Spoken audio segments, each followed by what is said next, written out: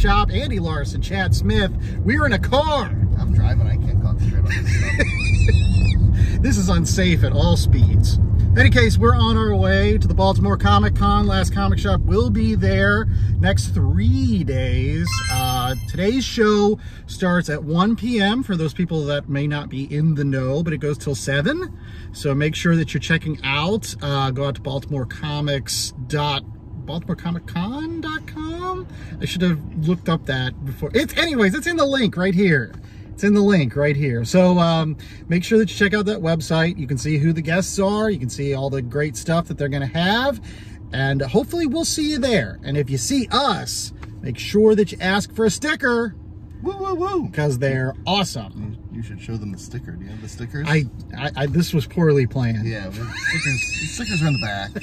They're in We'll a get there. backpack. It's fine. Right, but yeah, just look for us. We'll be there. I'm in. I'm in this awesome shirt, you can find on our website. Look at that. Chad's in another shirt. You can find on the website www.lastcomicshoppodcast.com. That link's now there. So, There's the business card. ooh, snazzy. We'll see you at the con in just a few.